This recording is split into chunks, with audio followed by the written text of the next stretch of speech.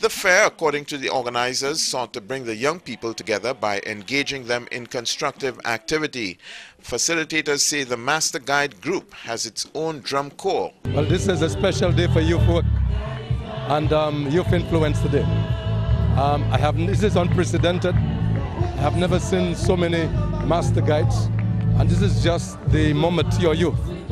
We're not talking about the younger ones. And I was told that it's almost 700 strong.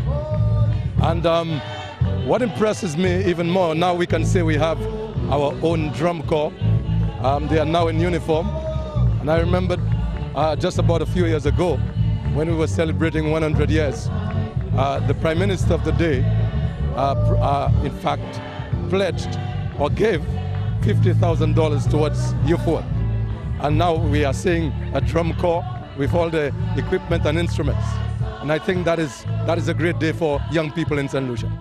Okay, you said this is unprecedented, unprecedented, but what do you think that means to the future of youth work on the island of St. Lucia?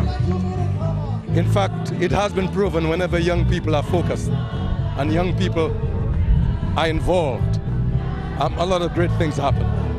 And uh, you know, some of us, we will get older and we will move up the scene.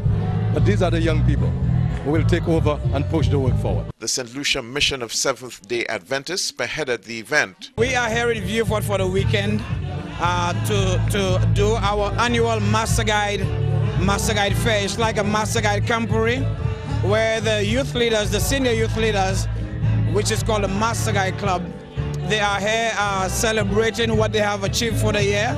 We had an investiture service on Saturday and Friday evening. This is where they are awarded with the various insignias for accomplishing uh, a, a, higher achievement class in the Master Guide, in the Master Guide Fair. And of course, we, uh, we have marched in the community of Vieux Fort today, um, just showcasing our young people and to send a very strong message to the different communities, letting them know that uh, we as young people have something good that we can be part of.